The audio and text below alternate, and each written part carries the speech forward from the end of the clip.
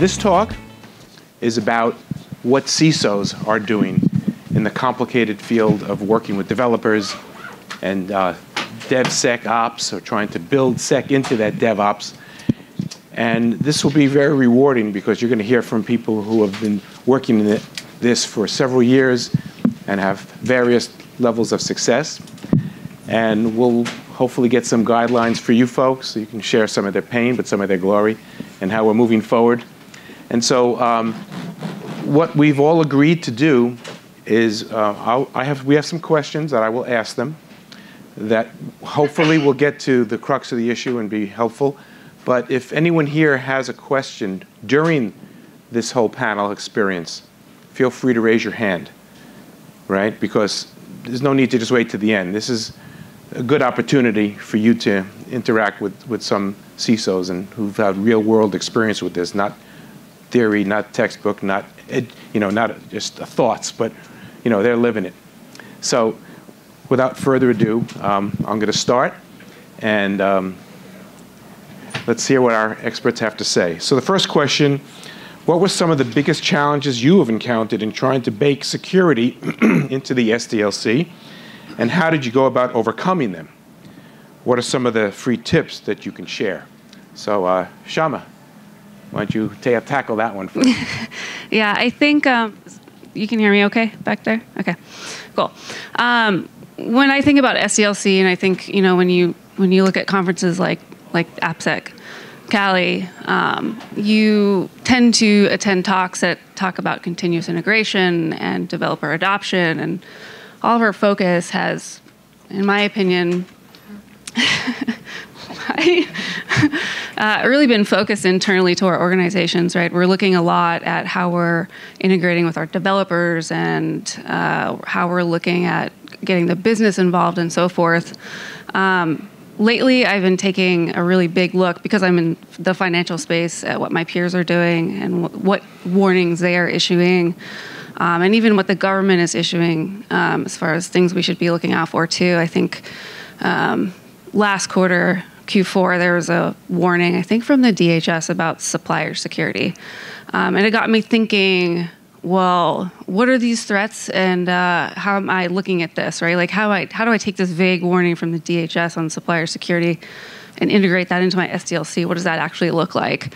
And I think we saw a manifestation of that warning with MageCart, right? Um, and that that's kind of a multi-pronged problem, right? We've got the supplier due diligence problem. We've got um, inclusion attacks, which can be boiled down to integrity checking and bypassing controls and everything from the infrastructure all the way up to the application side. So um, that to me is kind of a problem that's really difficult to solve because you know, just like most attacks are, it's bypassing all of our controls, but it's bypassing a trusted uh, supplier. So we can do the spreadsheet jockey with with our suppliers and make them fill out the spreadsheet and do the on-site visits and all that kind of stuff. But where is it that we get comfortable with them uh, to start trusting those inclusions within our source code itself? So.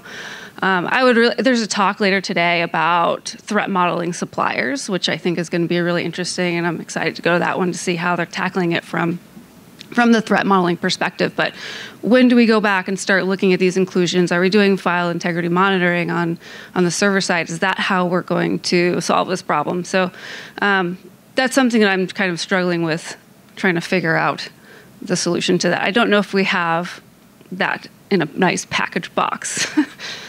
but yeah, I, I would would agree that um, these problems are hard we may not have all the answers. We struggle with this every day, right? Um, how do you trust your suppliers? Um, how do you trust your supplier's supplier? And who, in the entire life cycle of an application, is really thinking about security? Because when you take a look at security, and the, the talk earlier was really good, and I agree with one thing security is a trade off not between being secure or insecure, but being secure or usable. And most times the business is going to win on usability and security is going to lose. And at some point, that's where we get into problems. And that's the trade off as a security professional that I have to, to try and balance is I've got all this usability things that I need to make because we're, you know, my company is not a security company. We do insurance. They could care less about security, they care about revenue, just like your company. And how do we enable that while at the same time take these really interesting things that we get from the DHS that says big, big bad things are happening and how do we translate that into what we have to do every day? More importantly, what you guys have to do every day. Yeah, just a couple comments. I think um, when I think about you know an SDLC program in a corporate environment, um, I think the first thing I think about, and honestly, it's not technical, it's the cultural impact. So you know you gotta, you hire some really great security guys, and a couple of my guys are in, the, in here today. Um, really super smart, and the first thing they're going to do is walk over to the developers and say, "Your baby's ugly." Um, and, and, and the first thing the developer says is, no, my baby's pretty. So you got to start with the culture. Um, the, the, culture aspect is important. Um, you, you, know the, the, you know, the, euphemistic DevOps world and is, is really a cultural discussion. It's not really a technical discussion. Taking some of those principles about how to embed teams, how to make them comfortable that they're there to help. There's lots of tools and processes and a lot of automation discussions that are going on in this space to, to make everybody's life better. But the end state, it is a people discussion, and start with that cultural integration. Did you? Yeah. Thank you.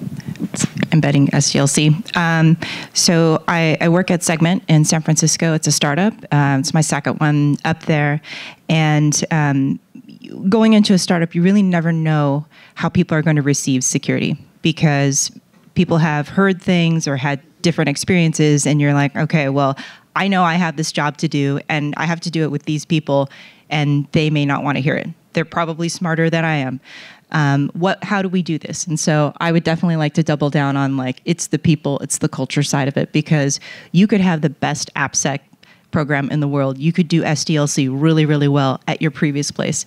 You go to a new place and it's a completely new area. They don't know who you are. They don't trust you, but they suspect that you're there to slow them down. So, figuring out what their workflow looks like and the things that you want to do, being able to embed these different things within their workflow so they don't feel like you're telling them no. They don't feel like you're giving them a whole bunch of extra work. They feel like you're actually weaving it into their day to day that's already happening. Um, I think that that's really important. And spending time with them, like um, my team came up with the idea of doing uh, like a two-way embed. So the first thing that we're going to do is figure out what they struggle with on a day-to-day basis. Why is it really slow to deploy code? Uh, what what do they have to deal with? And so someone will go for a sprint or two or a part of a quarter um, and build something with them side by side. And is not there to just receive the security tickets that we submitted before and work on them, but is actually building something with them. Um, and then what ends up happening is when that person leaves from that group, the mark that they leave is like, this is, I've modeled how to do um, software development securely with you, and you can copy everything that we've done. And usually, um, so if that person is Leaf who's sitting back there, Leaf will find out, like, okay, while I was there, I found these one or two people who are really great security champions, and we can work with them to make sure that the SDLC is followed, that the activities that we want actually happen. Um, and then down the road, um, after we have some these chances to embed with these different teams, we're going to have different teams embed with the security team and build something together. Um, so the closer you can bring in the rest of your R and D or you know engineering, product, and design folks, the better it is because you should not be seen as separate. You should be seen as a partner um, and a critical piece of how they build things. Yeah, one of the things that um, that I've done is um, meet right up front with the head of uh, the application development area, take him to lunch. You know, as a good CISO, we we spend a little out of pocket funds as we take people to lunch because first impressions are crucial. You will be remembered three years down the road by a person who said, "Yeah, he took me to lunch." So that buys you a lot of grace initially. Um, but it's important because you have to establish a dialogue and a, an exchange with this person who you're going to be working quite closely with uh, because our role is to you know ensure security in a, in a field where there you know the, a lot of people in the security field aren't coders right and so there's a little gap there so we are dependent upon you know, things that just you just brought up, working with these other teams. Um, so, you know, the culture is key, right? This isn't a technical issue, as Bruce said. It is um, people. So now we have a, a full group. I want to give each person a chance to tell you a little bit about themselves. I think that would be helpful with the context. So, Coleen, why don't you start off? Sorry for being late, guys. For some reason, I thought I was supposed to be here at 11, so totally my fault. Um, apologize. No problem. Um, as I mentioned before, my name is Coleen, and I am up in San Francisco. Um, this is the second startup that I've been trying to do this this thing. I've got this crazy idea. Um, a security person's life is already very hard. You have chosen a hard road. Why did you do that to yourself? But I just had this idea that it would be really fun to build up security programs from scratch at a pre IPO company. So it's imagine this company is like a baby, and it's just like, tell me everything you want to do. That's that's the fantasy that I have that they're going to be really welcoming to having a security team guide them through this process. And uh, is that really true? Yes and no, depends on the day. There are days when they come to us and they say, Can you tell us how you want us to do this thing? And we'll look at each other like, that doesn't normally happen if we worked at a bank. That's really strange that they just gave up their right to choose, but fine, we'll tell you how to do it. Um, so the fun thing is uh, starting at these small companies who maybe didn't have an introduction to security at all. They they've never worked with security people, and then showing them this is this is how you work with a security team. This is the benefit of having a security team by your side and helping you make sure that you put out the best quality product you possibly can. Um, so I did that at Twilio. Um, I also I'm doing that right now at Segment. Um, it's really fun building the team and it's building the programs. Um, the hard side of it is that you're working with people who have probably never worked with security people before. So the things that you think that they should know, like do you scan your code for flaws? And when someone does that, you'll probably get a ticket, which means you need to fix that. Like those are novel concepts to people who've never worked with security teams before. So on the one hand, they're really lovely. Like they'll look to you for all kinds of guidance and instruction because they're not, you know, they're not burned out. Um, on the other hand, sometimes they have no idea what the basics are about. So it's been fun. Um, my name's Shama, and I'm the CISO for Avant. We are a financial company, but not a bank. So that lends some interesting problems and solutions. Um, I come from a pen testing background. I started out as a pen tester, um, specifically for applications, and then I moved to the corporate side um, because I wanted to make significant change and see it all the way through to the end, to make sure that uh, the recommendations that I was making were actually getting implemented. So, excuse me. So I switched over to um, being an application security manager and building out AppSec programs as well too, and that kind of morphed into me taking on more responsibilities and more programs outside of AppSec, which ends up being in a CISO role. Um, so. Um, I, I kind of really enjoy the infrastructure side now, which is something I, I wasn't really entirely sure I would like. Um, but I find it to be uh, this day and age. I think we're we're doing a lot more on infrastructure than than we have maybe in the past. So, Martin Mazor, I'm the CISO for Entertainment Partners. We are a payroll and uh, technology company for the entertainment industry. I've held the uh, CISO title for over about over 20 years. Um, Fortune 100, uh, aerospace and defense, and uh, uh, some other engineering functions. Um, what I enjoy about being a CISO, well, I got the weird, weird world of I also run IT. I'm one of the rare, rare CISOs that run IT as well. Um, so it's it's a very positive aspect because security is embedded up front. I don't, you know, it was a joke. I kind of battle with myself. I yell at myself because, um, but um, it, it, the, the value there, and I think it's an interesting point, is you know the integrated security models are up front. We can't get away from security because it's not outside IT. IT and security need to be embedded. Uh, what I really enjoy about uh, security is understanding customer concerns, and I hear them a lot, and trying to figure out how to how to make their world better. Um, I know it sounds kind of a political answer, but it really is part of what I enjoy to do is, is hearing what customers like to see in our products and how we operate. Uh, being a service provider, we get a lot of input. Um, and trying to take those and, and, turn them into viable products and viable uh, activities for our customers. So that's that's what I enjoy doing. Cool. My name is Bruce Phillips. I'm a Chief Information Security Officer for the Williston Financial Group of companies. Um, I haven't been a CISO quite as long as Martin, so yay. Um, I, I, I, don't own IT, so I don't get to yell at myself every day, um, which I'm grateful for. I started out as a developer when I got into IT a long time ago. Um, I actually got um, hooked into OWASP by, by a guy by the name of Mark Curphey.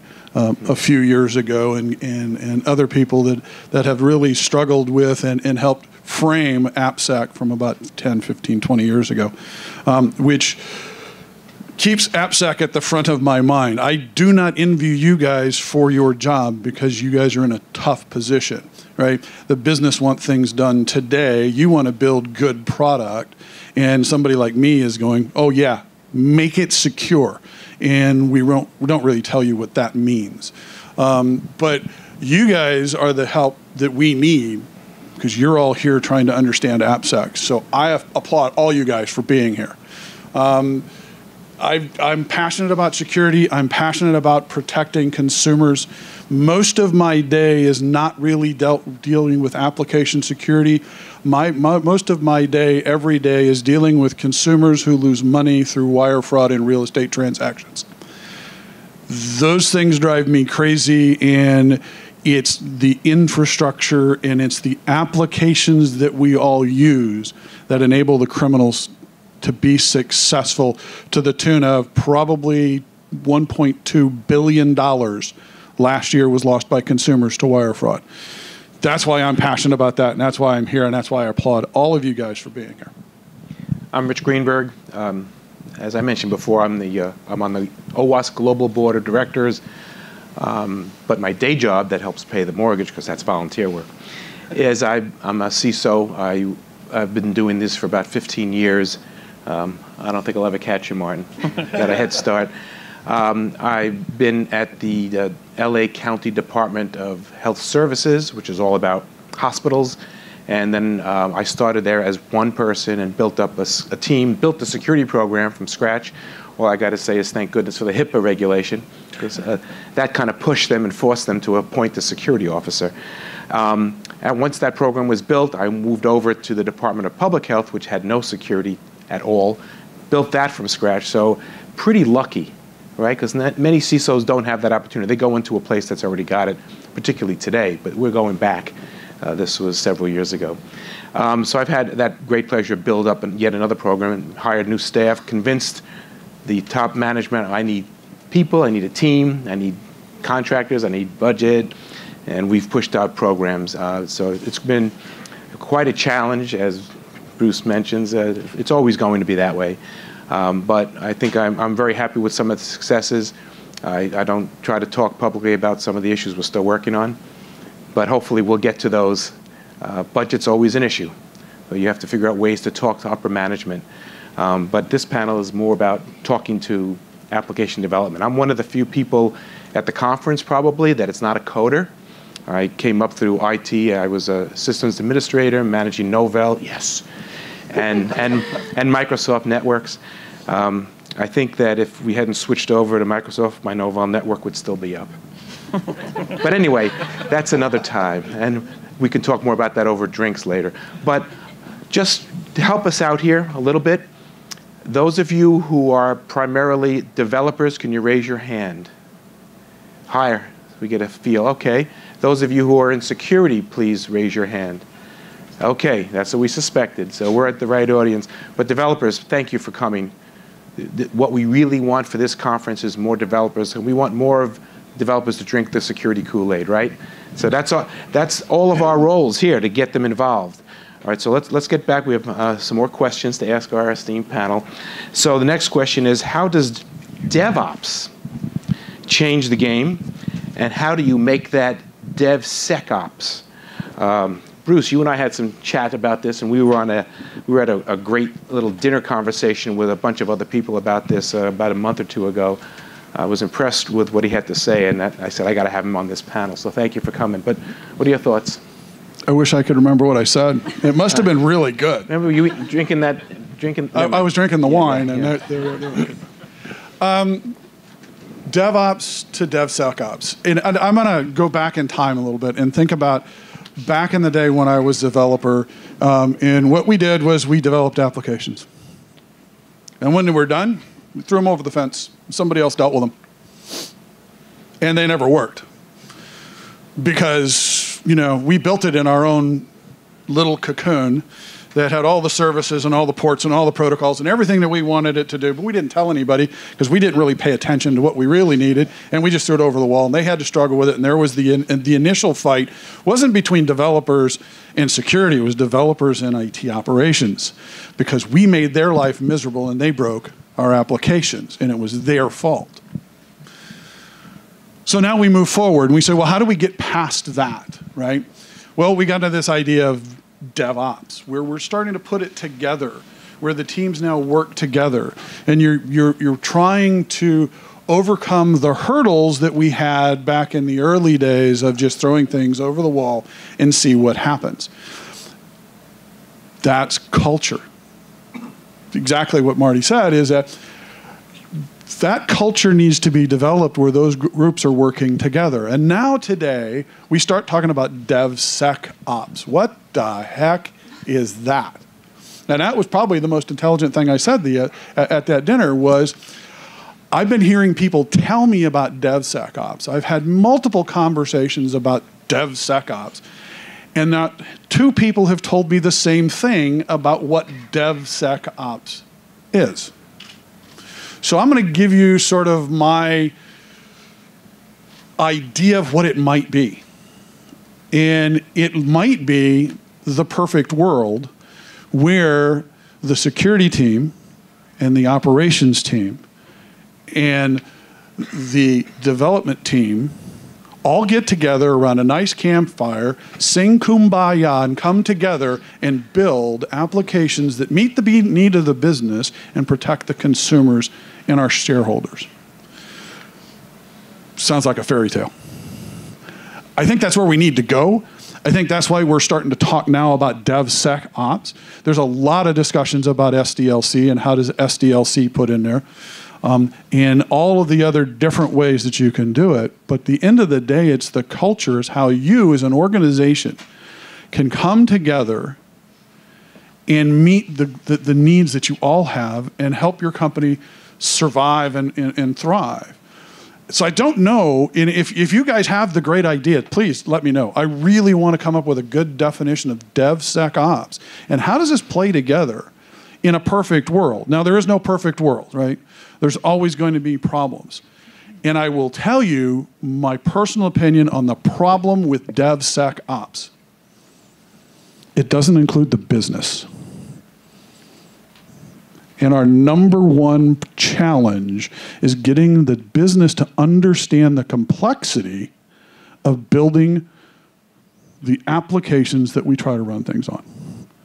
So I think there's something coming, DevSec BizOps.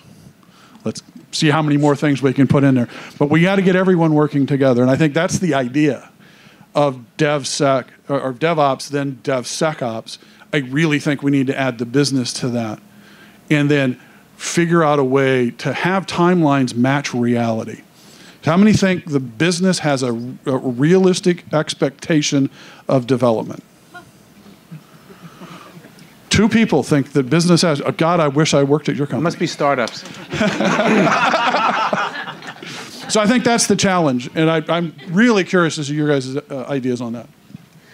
I read an article or some some article came up the other day in my news feed about DevSecOps business being X billions of dollars this year. Uh, so, and that had like the magic quadrant of like DevSecOps companies and like who, you know who's going to be involved in this. You know, I'm sure there's some unicorns in there that we'd all like to be a part of. But um, I think from the way I look at it is kind of uh, the maturity of a company, right? Like if you are in a older company that has lots of legacy infrastructure and isn't necessarily like you know running up in the cloud like some of our startups and unicorns are. Uh, devsecops is going to be a lot harder whatever that is to um, get implemented in a company like mine that's like all up in the cloud and our DevOps is solely taking care of, you know, AWS infrastructure, and the developers are talking back and forth with DevOps teams. It's a lot easier to get integrated within that lifecycle than it is, you know, on, you know, some company that's running off of an emulated VAX or something like that, which, by the way, exists. Um, so, to me, as a CISO, I'm looking at AppSec and infrastructure security and cloud security and all of that. And to me, it's one, just one big piece. And I think like you were saying, modeling that for the business is the hardest part of it, and there, therefore that somehow is uh, DevSecOps. yeah. yeah, just a quick comment. I think um, you know DevOps has been maturing for, for several years now, or, more, or even longer. And what's the value? Right? If you take a step back, what is the value minus the security side of it? Um, it's velocity, right? It's it's taking some of the the standard change processes and build processes and automating it, infrastructure as a code, getting it out. It's a velocity discussion, right? Could talk about it's a quality discussion too and things like that. Adding a security function into DevOps capacity is going to be an absolutely uphill battle every time. Why? Because they don't think they need security in that. So they can build a container, they can build the process, they can build the, with the code inside this this bubble of things, then deploy it into production. They don't want security in there. Uh, this is my impression, of course. I'm sure there'll be different opinions. Uh, they don't want security in there um, because now, once again, they're calling their baby ugly in a real time way. So you got to put you know my team here we got to put the strong controls the gating factors of you can't move your code out of repo until it passes security checks all those things until it becomes more of a fluid process and i'm sure many companies have gotten to that fluidity uh, capability uh, my experience though it is going to be much more of an uphill battle adding security into it so uh, first of all, I'd like to say I don't really like the term DevSecOps. I don't like anything where I'm you sorry, like mash them. Triggered. Um, yeah, I don't like it when we take multiple things and, and mash them together because I think that when when we do that as a community, each person has a different idea of what it is and what it means. Um, like to me, it just it's pretty simple um, it means that we we see what the development process actually is. We see where things are falling flat. You know, where are all the flaws coming up? Um, where do certain teams need more education? Where do certain teams need to slow down? Where would we need to put security automation in there? So it's it's about deconstructing the whole process and then figuring out how we could rebuild it with pieces of security along the way. Um, I think that those of us who are here from Segment, um, working at that's part of the reason why at midpoint of my career, I was like, forget all these old legacy companies. They don't want to listen to security people. I hate that. Um, that is the reason why this is my second startup in a row, is because um, the developers that we work with are more than happy to receive this advice, this counsel, to go through these ex, um, extra steps because their nightmare scenario is developing and deploying something that causes or leads to a huge breach that leads to headlines that are really negative. Um, and your reputation in the Valley and SF is really, really important. You don't want to be a developer that's associated with something that is a dumpster fire. Um, so the way that the teams look at us is we are preventing them from falling into that dumpster fire. Um, at times there can be some contention, um, but usually when we take a second and we sit with them and tell them why we're doing this, what's the value of doing this, um, they get it. They realize that we're there to help them. Um, it still does slow things down, um, and it's not a perfect world, but but it's a happier place for us. How many of you in the audience are in companies that are embracing DevOps right now? Wow, almost everyone. Okay. Uh, okay, now the tricky question. How many of you are in organizations that have DevSecOps, whatever that is? Wow, about a third. Okay. Should we ask all you guys to come up and define that for us, please? anyway, stay in your seats. So let's we have another question here for you. Uh, we're getting a little more now into the weeds. We've been talking uh, theory and, and, general practice and ideas and philosophy, but let's get into a little bit deeper. So, describe your approach to using, if you do, static scanning, dynamic scanning, code review, bug bounties, and pen testing. And Martin, we've uh, I actually saw you give a talk where you hit on this quite a bit, and uh, yeah. thought it was fascinating the way you described it. Yeah, um, you know, a little bit of philosophy. You know, Coke versus Pepsi on dynamic and static testing. Static testing is obviously the more mature side of the house. Um, it's a state and point uh, model. Um, how we do it, and we're not where we need to be. I'm, you know, very fluid on on the conversation. Uh, we've integrated some automation tools, some, some companies, I think Security Compass, and, and, some threat modeling capabilities, as well as some automated checks and uh, um, uh, validation processes, you know, static uh, testing tools, into the repos, into the orchestration processes. Um, and you know, it's a it's a double-edged sword, right? It's you know, once again, you're, you're telling a developer, hey, you've made it this far, but you've got these problems to go fix. Go back to go, right? Um, and you know, the, the, best answer I've seen, and you know, and, and Terry from my team is here has really driven this is, is that's an education opportunity, right? So it's like anything. If you find the same problem over and over in the same code with the same developer, turn it into an educational opportunity and, and give them that opportunity to, to get better at that key problem. Um, once again, security tools and automation processes are great, but they're not the answer. They are how do you instruct to get the developer better? Because that's really the ultimate the ultimate goal there. Um, a couple points on pen tests are great um, for a point in time model. We're a service provider, so our, our customers are never going to trust us to the point of not having a third party test come in before they use our product. It's just kind of how the, the nature of uh, the, the industry as well. Um, but they're point in time. So, you know, it's only as good as the assessor's methodology, only as good as the assessor's capabilities. Um, certainly, we don't rely on them, um, but we do do them for, for our, our third parties, our customers, ourselves. Uh, and on bug bounties, um, we've explored them. I think you know it's that same opportunity to educate the developer. Um, it's a low cost model, generally speaking. Even you know the bigger bug bounties are, are not that expensive. Um, and what you're doing is you're getting you know once again nebulous, potentially nebulous testing capabilities against a specific you know piece of code or product that you want to have test. But the value is it turns an educa- you turn that into an educational conversation with the developers. It's another checkpoint. It's another third party saying, "Hey, look, here's how you need to do something a little bit better." Uh, and in that value on that low cost model, I think there, it's a good opportunity for folks. Um, I may be the maybe one of the only people ever stand down a bug bounty program, um, and uh, I found it to be, and perhaps this was just in in how we executed it. But when I came on board, we didn't really have a security program, but we had a bug bounty program, which was kind of a weird maturity flip, I think. Usually it's security program, then bug bounty program. So I felt like we weren't uh, sophisticated enough to be having something like a bug bounty program. Plus, I found that the submissions weren't really that interesting anyway. They weren't really finding issues that um, led much value to uh, my organization. So I've actually taken that and pushed it aside until we're ready to bring it on. But um, you know, in terms of pen testing and all that, we do the third party pen testing stuff. I use it also as assurance for um, our third party uh, partners and um, people that we have to assure, like our regulators and so forth.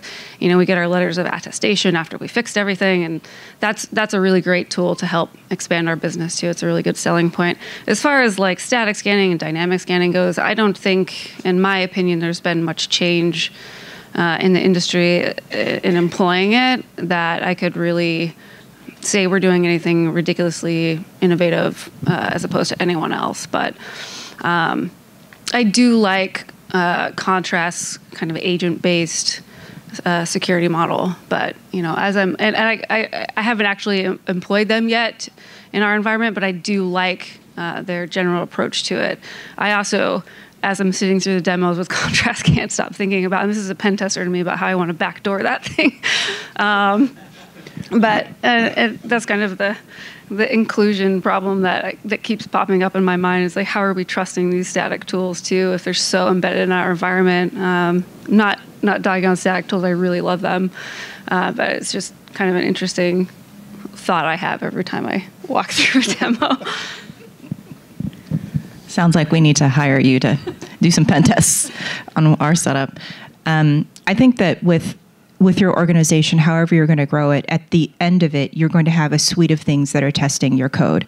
Um, there is a lot of value in static and dynamic testing. Um, you know, you'll probably go through a really long POC um, and find things that work, only partially work. Um, the drawbacks that I've encountered with static uh, analysis in the past is lots of tuning, lots of false positives. It takes a lot of time from someone from your team to sit there because you don't want to give that raw report to a developer and say, take a look at these thousands of results and do something about it because that, again, goes against the culture that you're trying to build. Um, you should only give them something that's really actionable. Um, so I feel like that's the one that you know our organization is kind of putting toward the end because the the dip that we did with it it was just not fun. Um, and um, as we're building the suite of, of tools that we're using for testing, I found that you know pen tests are really great. I mean, they really help our customers feel good. Uh, they they help our ISO auditors feel great about us. Um, but bug bounty, we've had um, pretty much the opposite uh, experience with them. You know, I think it depends on um, the group of researchers who are engaged with your account. Um, we maybe we're really lucky. Maybe it's because of the person who runs the program, um, but we have a lot of researchers who have found some really juicy stuff, and we are like, thank God they found it, and not somebody outside of the company, outside outside of the company, and posting it on Twitter like, hey, segment, I found this thing. You guys are lame.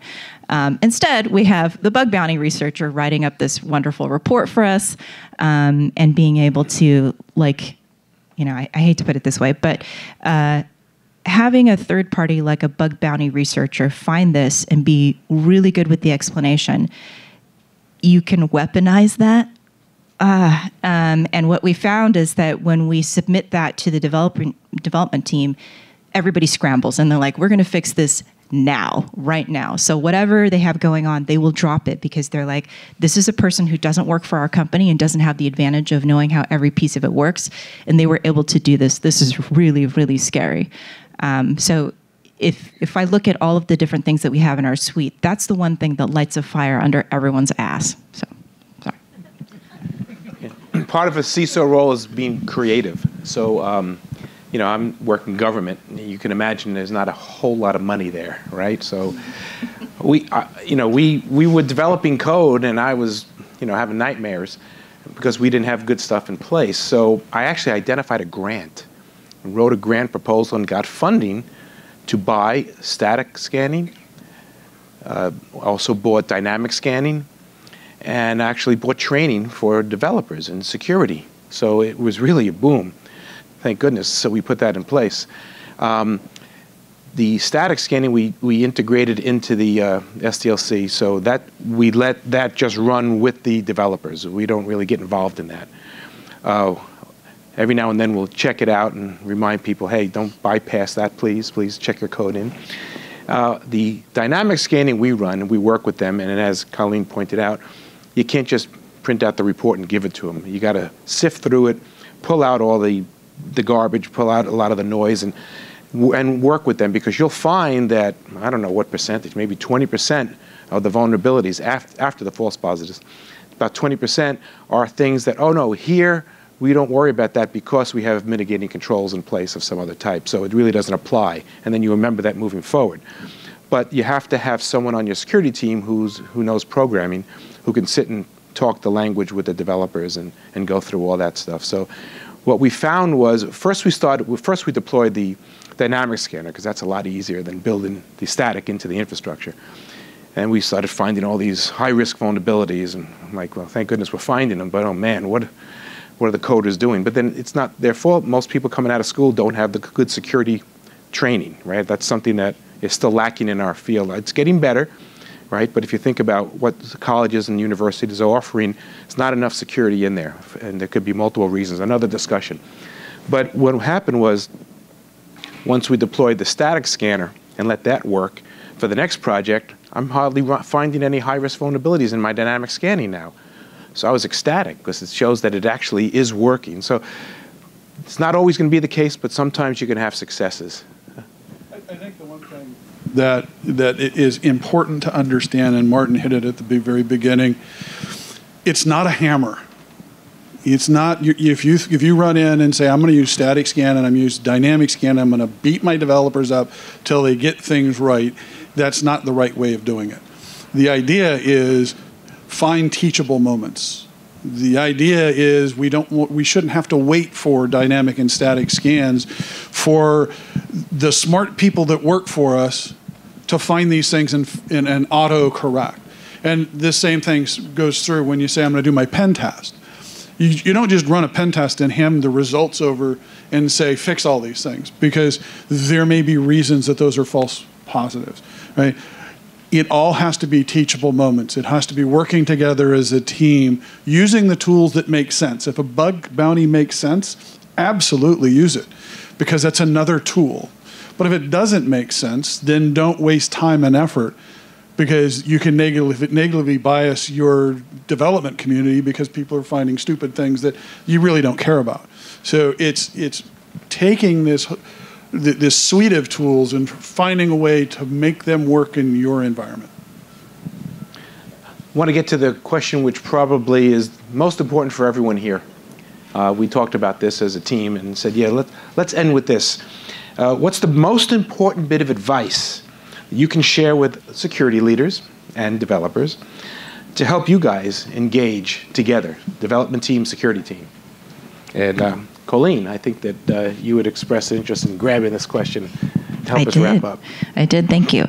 Um, so part of my team is here. So if you look around, I see David, Leaf, and Eric. They're actually trying to hide, or one of them is.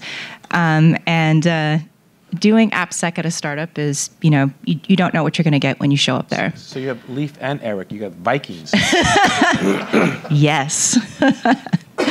and they have they have claimed victory um, over at least this one piece of the AppSec program, um, and it is the education program. And so you might think like, what do people at a startup, cool people at a startup, all these cool developers, what do they care about? Like learning about AppSec, like who cares about that stuff? That sounds staid. It sounds boring the program that they put together teaches some of the basics like you know what is cross-site scripting how do you recognize it but also mixed in some things that are very highly relevant to them. So going out and figuring out within our code base where our developers have made these errors um, and teaching developers how do you spot this flaw? And oh by the way this is code that we wrote and uh, introducing them to Juice Shop. You know, like this is how a hacker would take advantage of these flaws that are here. This is how you pair them up. This is how you would actually run an exploit. Um, and teaching developers to think like a hacker, and that's specifically what this program is about, has been hugely successful, um, even more so than we originally thought in the beginning. So they were writing um, from a developer standpoint, like, what would I like to see from security training? Um, so when you're thinking about your security training, don't have your security hat on, have your developer hat on. Like, what is it that's missing from the traditional training that you would give them and change it up? Because your developers are extremely bright, they're very engaged, they care about the quality of the things that they produce, and they want to partner with the security team. So make it easy for them to do that.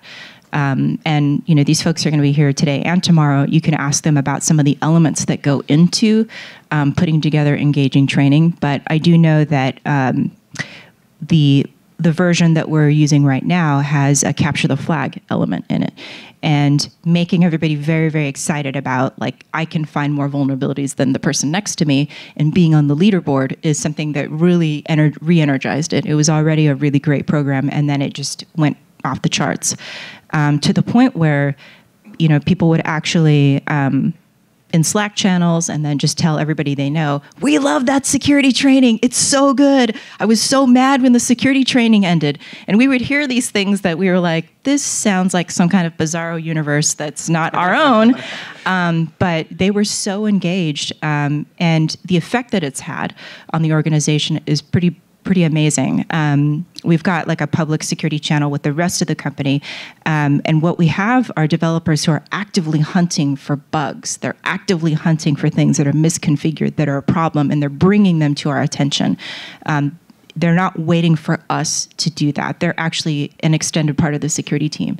And I think that's been the most powerful thing for us because your security team is never going to be big enough to keep pace with the rest of the organization. So the secret is it's evangelizing and converting people into this way of thinking about their code. And that's been helpful. Yeah. Um, I think one thing we all struggle with in this industry is staffing, right? Like, do we have enough people, and where do we get them from, and is there enough hands on keyboards and butts in seats? And um, it's something that I'm really passionate about um, as as a leader in my organization, just getting the right people on my team. So um, I would I would really um, recommend that we really start looking internally at our folks who may not be on our security team. I know we have the security champion concept, which is great too, but just plucking people out of various parts of the organization that you know aren't necessarily in technology. Even uh, there's a girl on my team who is awesome, and she used to be a call center person. You know, she was you know calling up customers and talking to them, and she just happened to have a background in math and turned out to have like incredible aptitude, and now she's in security. Um, there was was a former coworker of mine who used to be a teacher, and you know she had great communication skills, and she ended up being a you know just rising the ranks incredibly fast in security too. So. Uh, my piece of advice there is to kind of, as we're, you know, working with tech recruiters and working with security recruiters and our own internal teams, is to also just look under our noses at the people in our organization who have the institutional knowledge, who have the connections with the other teams in the business side and so forth that can really help us out and, and you know learn that security piece, piece, which is incredibly difficult. But you know if they have if they have the willpower to do so, then their their opportunity to be great in security and to build up this community as a whole is, is really kind of great. My number one hire in the last two years was our former receptionist. Political science major, loves security, and the guy is a rock star. You never know until you ask. And you'll find people that are really good at, at doing this from really strange places. So I, I'm looking at everybody. If you got a receptionist he thinks pretty smart, I might hire him. Um, yeah, just just the the idea, uh, you know, SDLC programs in trying to bridge the bridge the security and development uh, integration approach. Um, my experience, there is no magic answer. In some cases, it's going to be some carrots, and it's going to be um, there's going to be some developers who are absolutely excited about security. Um, and want to learn and know everything about it. And then sometimes it's a stick, and you know, it's part of part of being the CISO is you got to sometimes you know do the stick and the carrot both. Um, and you know, every culture is unique. Every company is unique. Um, you know, the security champion ideas and those kind of things are really embedding, you know, some product managers into the life cycle and having them. I'd love to see. I don't have this today. I'd love to see a product a product security manager. Um, and focus solely on the product side of things, um, which we've got people doing that now, but not at, at a dedicated role. Um, but you know, just you got to balance, right? In a management role, you got to balance the carrot and the stick model um, put in the automation. I think that is absolutely valuable and has, has provided, you know, provided the, at least the recognition that there are problems that there need to be solved. False positives and static, you know, static scanning is always a problem. But you know, risk rank those, find out what's important to you and your organization. And if you need to use the stick, use the stick. Um, you know, it sounds terrible. You know, everybody wants to say everybody, you know, everybody's kumbaya and all that, but it's it's not right. Um, and you know, just manage that appropriately in, in both ways. Thank you. Wonderful stuff. Give, let's give him a round of applause, please.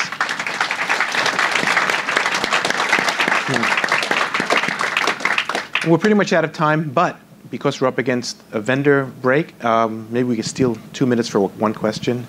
Uh, we got somebody right there. You can yell it out. Sure, I'll repeat it. Thank you for taking my question. Thank you for taking my question. Is that it?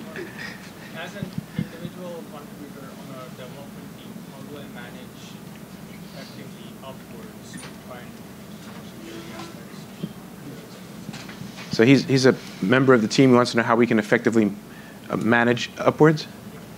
Okay. He's a member of the development team. Of the development team. Thank you. Uh, I'll give it a shot. Um, you know, visibility. Um, you know, uh, you know, sometimes maybe get lost in the shuffle in those. You know, and so getting visibility of what you're thinking about. I know most people in the technology world, and I think this is honestly true, are not just doing their day job. They are going home. They're reading. They're thinking. They're doing POCs um, and get visibility of that. As a leader, I like to see that on my teams to see how you guys are thinking about innovation. It may not apply, it may apply, who knows? But how are you getting you know your your education, your skill set up? Maybe you're doing some cool things in the cloud you want to show you know cool things about how that could apply to your company. Get that visibility up, and um, I'm sure everybody in the you know the leadership will will recognize that. Um, I think I I only got part of the question. You wanted to know, um, so you're a member of a development team, and you want to get visibility to the executives. Um, but what is it that you want to share with them, or what do you want to change in the org?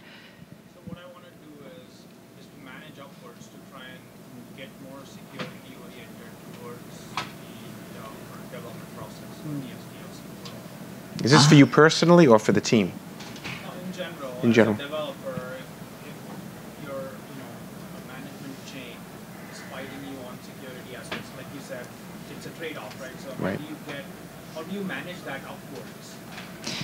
Yeah. So um, one thing I've learned working with executives is uh, they don't want to get in trouble.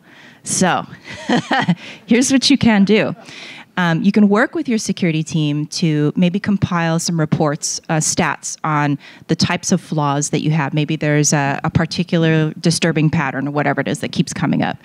Um, and maybe even like throw some metrics in front of them and then maybe even do a demo of how easy it is to pair up a few of these different flaws and run a really scary exploit. And then make them aware that as members of the executive suite when a risk that's like been really well culled and you know cultivated and you bring it up to them and they decide to ignore it it's off of your chest and it's now onto theirs. No executive wants to be wearing an orange jumpsuit. They don't want to be in the headlines. So just make it very, very clear for them that you and the security team work together and you were able to mine this information. And thank God you and they found it because if somebody from the outside found this and did this, then the executive team would be in a lot of trouble. Um, it really is about like partnering visibility, but making sure it's in black and white. You show them, like, we found this risk. It is this easy to own our infrastructure. All a person has to do is combine this, this, and this. I will do a demo for you to show you that. Um, that kind of stuff, it, it's like the the dare stuff in the 80s. It gets them scared straight. So um, we can talk more about that if you'd like. Right. Will you guys be here uh, throughout the day? Yeah. Okay, look for them if you have some more questions because we have to go. Uh, please, I encourage everybody go visit our vendors by the pool. They got a lot of cool stuff and they have great solutions you can discuss with them. Plus, if we don't visit them next year, it's only pizza. so let's let's let's give them their due and thank them for their sponsorship. Uh, the, the CTF and the IoT Village are throughout the day and tomorrow too. Half hour break, then back to sessions. Enjoy and thank you again, panel.